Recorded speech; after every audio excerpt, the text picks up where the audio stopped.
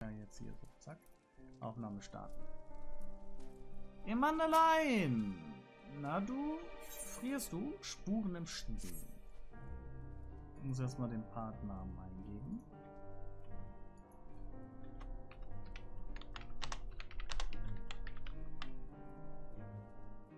Ah, meine Busenfreundin. Wie immer in wichtiger Mission unterwegs, nehme ich an. Ich auch. Ich soll mich nämlich hier im Lager umsehen und helfen, wo Not am Mann ist. Für mich klingt das eher nach Beschäftigungstherapie, aber egal. Uns hat man aufgetragen, ihr Bilanz reif nach Überlebenden zu durchkämmen. Ah, da ist Alice und Alfino. Was? Diese riesige frostige Ebene? Na, dann zieht euch mal besser warm an. Zum Glück habt ihr ja mich und mein Fernrohr. Wie wär's, wenn ich mich ein wenig für euch umschaue? Kommt mit! Ja! Ich hoffe... Äh, nee, nichts, nichts, nichts. Äh, na, das kann ja heiter werden. Wir folgen ihm besser schnell. Also sein Fernrohr, ne? Ja, ja. Sorry. Boah, in dieser Ebene will ich wirklich... Wartet. Äh, Reittierverzeichnis, wo ist es? Da. Äh, Kommandoliste.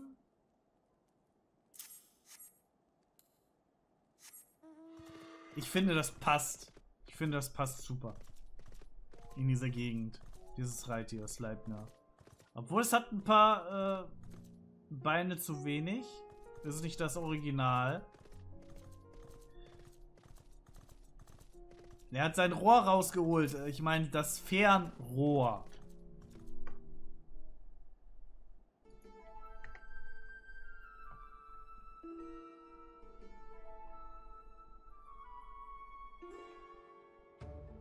Ich sehe was, was du nicht siehst und... Oh, ups. Äh, ein riesiges Schaf oder eine haarige Kuh. Jedenfalls nichts, wonach ihr sucht. Äh, obwohl, da, da leuchtet was. Ach, nur ein Hexagon. Ansonsten ist da nichts als Schnee. Noch mehr Schnee. Doch, wartet. Was sieht mein wachsames Auge da? Ja, ganz sicher. Ein Mädchen. Was? Zeig uns wo. Östlich von hier, hinter den Bäumen. Es sah aus, als würde sie vor etwas wegrennen. Und ich glaube nicht vor uns. Sie trug ein grünes Kleid. Mehr konnte ich auf die Schnelle leider nicht erkennen. Oh, ich muss aber sagen, das Schwert von Alice sieht mega cool aus, ne? Sie wird längst weg sein, wenn wir dort ankommen. Aber bei dem vielen Schnee sollten sich zumindest Fußspuren finden lassen. Fernrohr sau lang, ja. In Ordnung. Ich sage Lucia Bescheid. Wohin, wohin ihr geht. Oh, nehmt diese wärmenden Tränke mit. Die wurden an alle Mitglieder des Korps verteilt. Ich gebe euch äh, meinen ganzen Vorrat. Dem Mädchen ist sicher furchtbar kalt. Vielleicht könnt ihr ja, äh, könnt ihr so, ja, äh, ihr Vertrauen gewinnen. Bist du sie sicher? Es sah vorhin so aus, als könntest du sie auch ganz gut selbst gebrauchen. Aber nicht doch. Als Mitglied des Korps ist es ja wohl meine Pflicht, der notleidenden Bevölkerung hier zu helfen. Und als Edelmann, wie ich nun alleiner bin, erst recht. Nun beeilt euch lieber, bevor sich die ihre Spuren verliert. Alles klar, Undead. Dann wünsche ich dir eine gute Nacht und danke, dass du da warst. Und danke nochmal für den Raid. Ich mache aber auch nicht mehr so lang, ne? Letzte Mission und so. Ich hoffe, ich kann die zu Ende spielen. Ich hoffe es.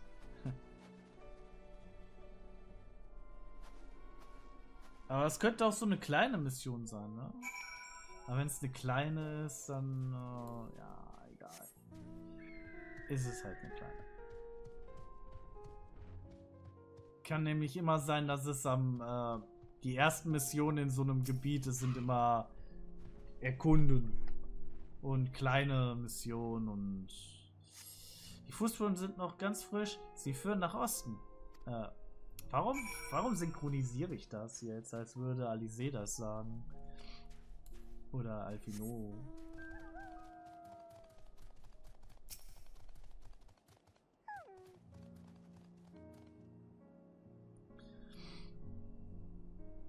Diese Fußspuren sind genauso groß wie die letzten. Sie führen zu dem Gebäude.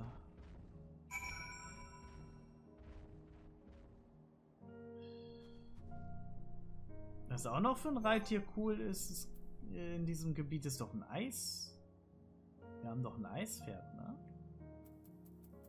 Wartet mal, haben wir noch ein Eis? Boreas. Oder Enbar.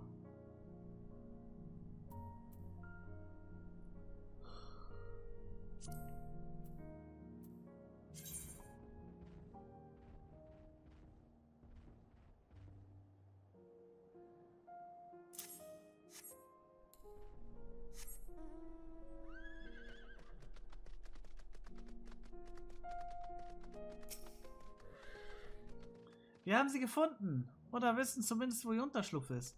Die Tür ist allerdings fest verschlossen. Und es sieht auch äh, nicht so aus, als äh, wäre sie in letzter Zeit geöffnet worden. Eventuell versteckt sie sich ganz in der Nähe. Afino und ich werden hier suchen. Vielleicht ist sie aber auch einfach nur hier vorbeigelaufen. Könntest du dem Weg noch etwas weiter folgen und dich dort umsehen?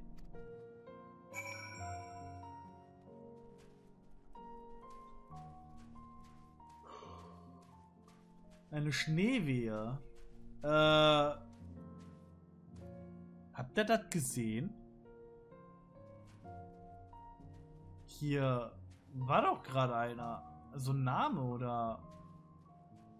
Oder habe ich falsch gesehen? Vielleicht habe ich nur falsch gesehen.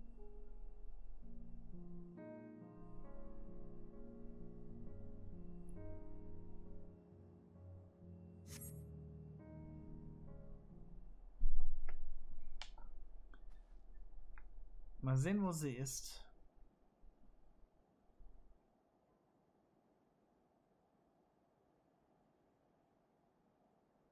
Die Manelon ist wirklich eigentlich, der hat sich gemacht, ne? Das Mädchen im grünen Kleid blickt sich ängstlich um.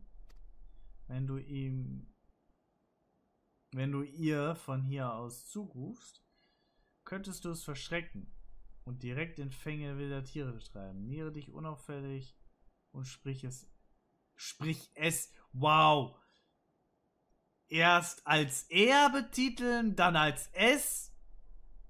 Sprich sie erst an, wenn es nicht mehr in Gefahr schwebt. Wenn sie nicht mehr in Gefahr schwebt. Warum machen die ja jetzt hier so ein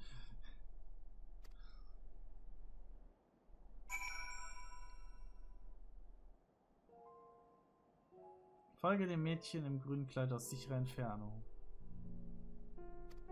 Wenn, es dich, wenn sie dich bemerkt, gilt die Aufgabe als gescheitert. Nutze deine Umgebung, um dich vor, vor ihren Blicken zu verbergen. Also hier hat der Übersetzer gepennt.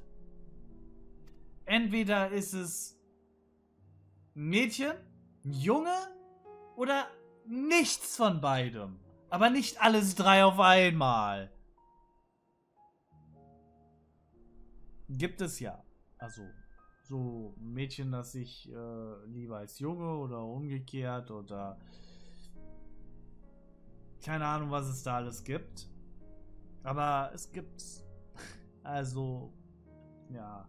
Aber hier ist es eindeutig ein Mädchen, also muss der Text sie bedeuten. Achte dabei darauf, dass nicht zu weit zurückzufallen. Auch dann wird dein Versuch als Fehlschlag gewertet. Fall eines Fehlschlags, bla bla bla. Finde ich cool. Finde ich cool sowas. Jetzt ist es, das ist das erste Mal, dass wir es in der Story machen. Mit verfolgen. Ah, ich weiß schon. Ich weiß schon. Hier hinter.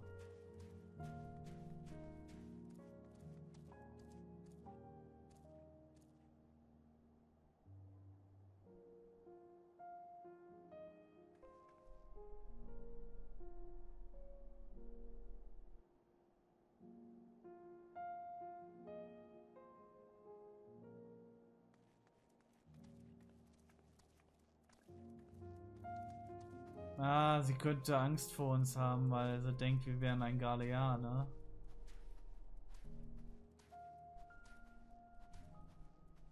Obwohl ein Galean in Galemald halt ist natürlich, ist natürlich klar, dass es die hier gibt. So, hier gibt es Bäume, unter denen ich mich verstecken kann.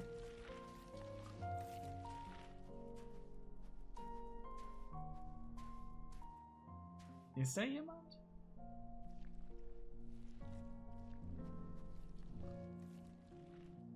Ich frage mich, ob die...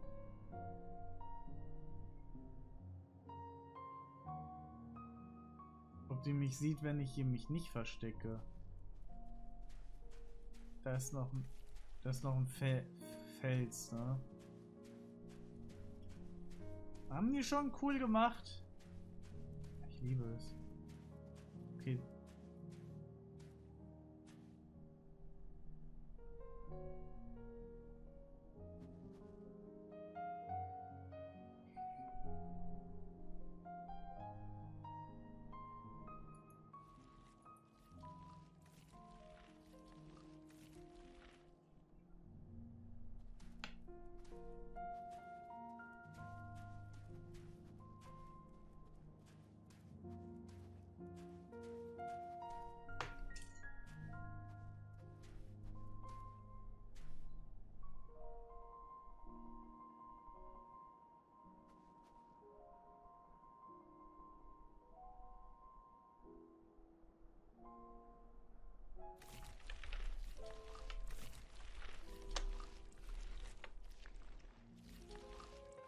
Hä, wo ist die jetzt hin? Komm nicht näher. Ah, verdammt! Oh. Ich hab die doch kurz aus den Augen verloren, weil ich mal kurz in den Chat geschaut habe. Na, super. Ah. Nehme ich das Ding. Nehmen wir hier das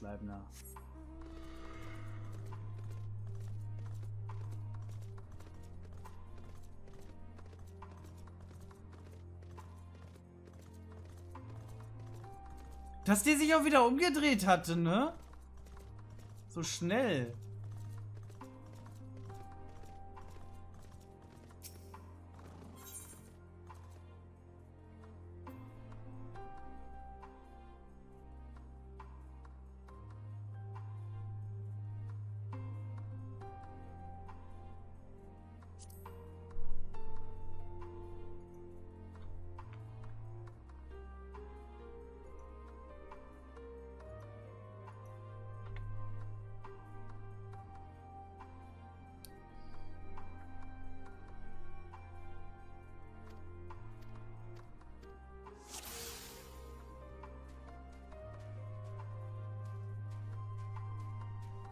Aber ich find's cool, dass die sieht, wenn wir uns nicht verstecken.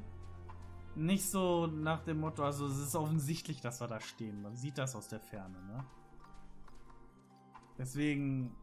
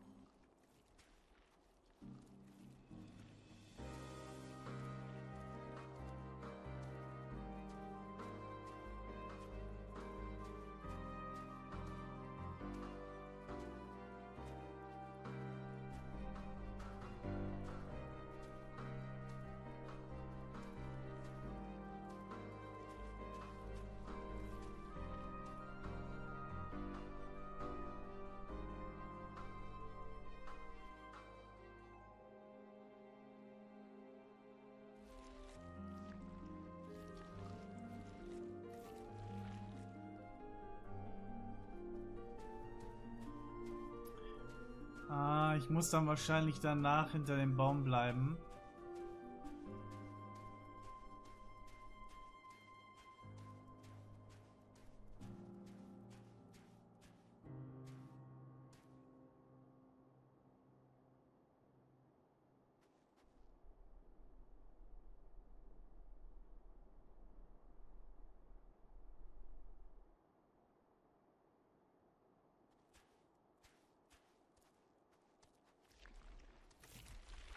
Konnte ich sie so schnell aus den Augen verlieren?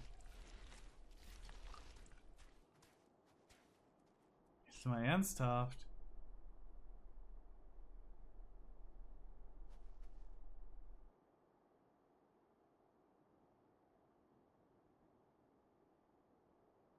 Uns, die redet in Mehrzahl. Ich hoffe, das hat was zu bedeuten.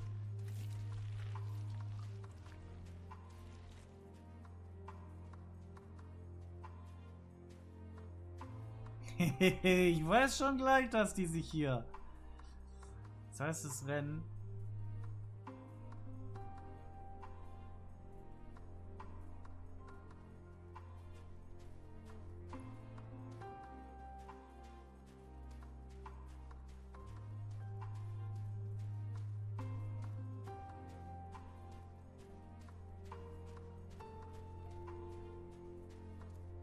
Boah, macht die jetzt hier einen Powerwalk?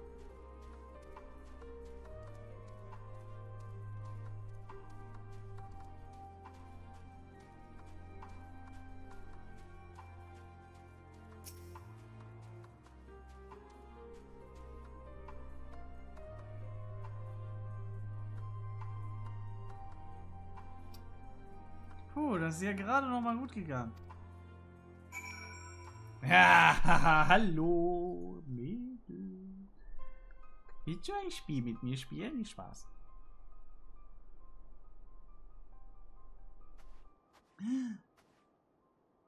Wer bist du? Kein Schritt weiter. Dieses Haus steckt bis unter das Dach voll mit Sprengstoff. Wenn du nicht auf mich hörst, jage ich uns in die Luft. Warte, wir wollen dir helfen.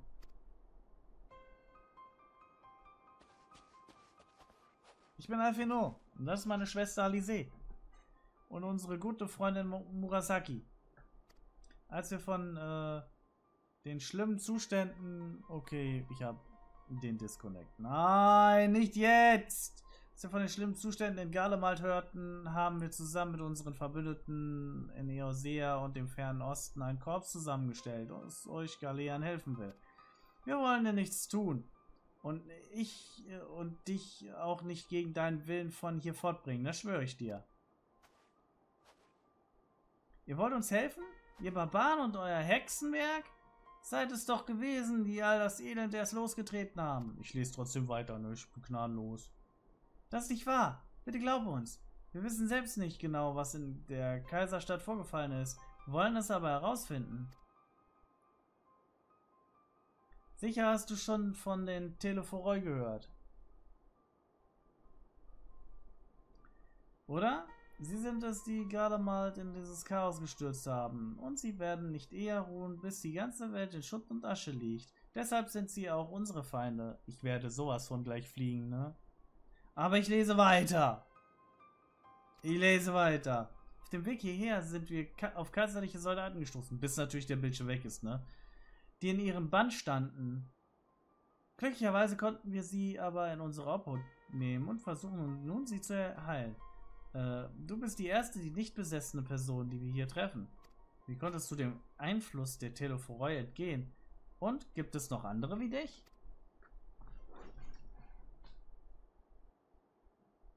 Mein Name ist Lies Shinia. Ihr wollt also wissen, wieso ich noch bei klarem Verstand bin? Das habe ich mich auch gefragt. Jeden Augenblick äh, seit dieser schrecklichen Nacht, als das Brüllen erklang, äh, alles war so unwirklich, als wäre man in einem schrecklichen Albtraum gefangen. Die Leute schrien und, äh, und ich vielleicht auch. Ich kann mich gar nicht genau daran erinnern. Als ich wieder zu mir kam, war es totenstill. Still, totenstill. So ruhig wie sonst nicht. Mal in den kältesten Nächten. Ich muss den Text gleich wieder durchskippen, ne? sei denn, dass, dass das kurze Verschwinden mich doch nicht rausschmeißt. Allmählich konnte ich wieder klare Gedanken fassen und für einen Moment dachte ich, dass der Spuk vielleicht vorbei sei.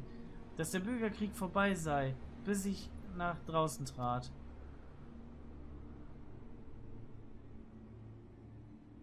Was ich sah, lässt sich nicht in Worte fassen. Es war grausamer als alles, was ich kannte. Ich rannte so schnell ich konnte, vorbei an den Leichen meiner Freunde und Nachbarn, die ich mein Leben, ganzes Leben lang kannte, gekannt hatte. Ihr toten Blicke in den Himmel gerichtet. Ich finde es aber schon ein bisschen schade, dass die einfach hier mal so eben alles zerstören und so, ne? Ah, okay. Jetzt ist die Verbindung weg.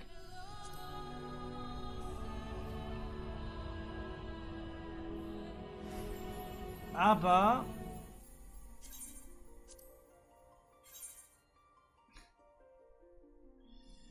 die Warteliste ist gnädig. Die Warteliste ist gnädig.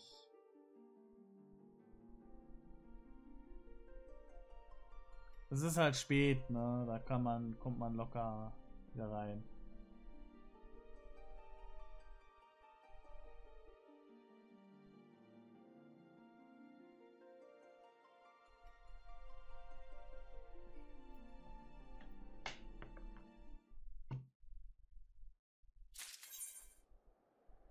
Müssen wir halt nochmal uns durch den Text klicken. Das ist kein Problem.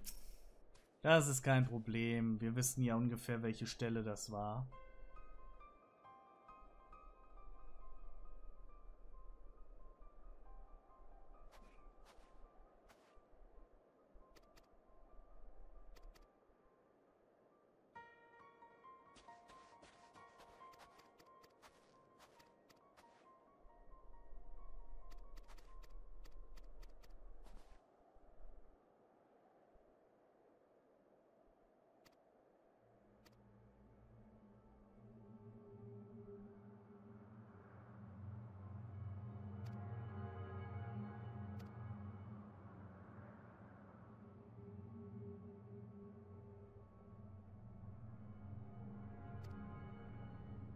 Ihre toten Blicke gen Himmel gerichtet.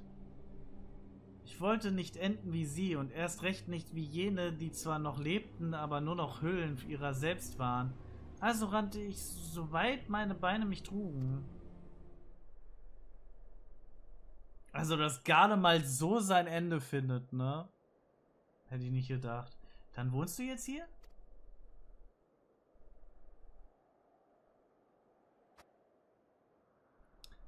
Ja, dies ist Siegerslohn, ursprünglich eine Siedlung für verdiente Soldaten im Ruhestand. Jetzt lebe ich hier mit meiner, mit einigen anderen.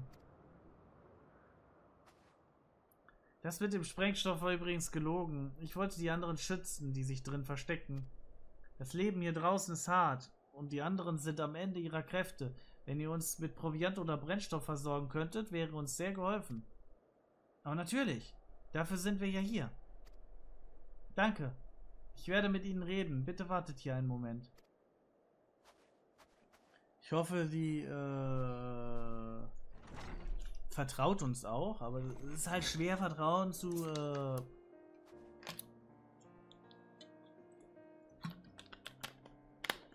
ähm, zu bewirken. Aber ja gut. Ähm, wir haben ja auch nicht dieses geile Male, äh, das äh, das, was die auf der Stirn haben. Ich weiß nicht, wie man das nennt. Das dritte Auge. Sagen wir es mal so. soll ja so eine Art Auge darstellen. Glaube ich.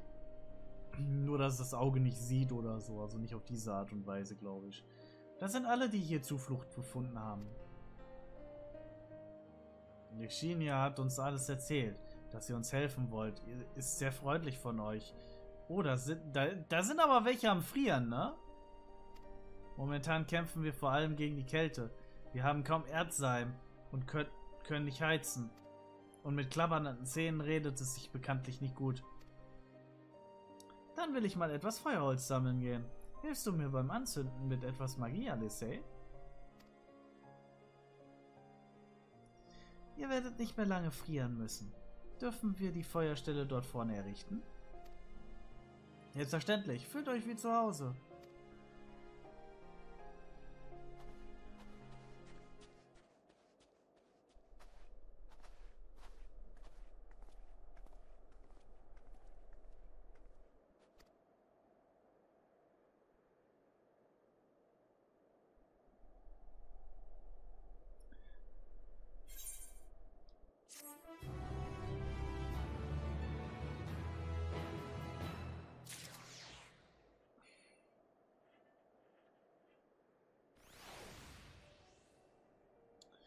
So, Licinia hat auch äh, gleich die nächste Quest für uns. Aber ich würde mal sagen, wir machen Schluss für heute. Äh, so. Ich rede dann auch zum Toni.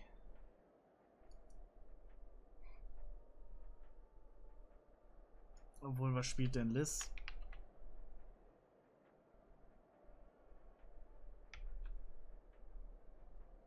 Just chatting.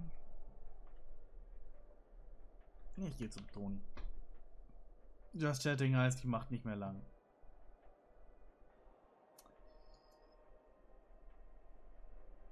Dann kann ich auch gleich zu Liz gehen. Ähm, so. Dann äh, bedanke ich mich fürs Zuschauen. Und wir sehen uns bis zum nächsten Mal.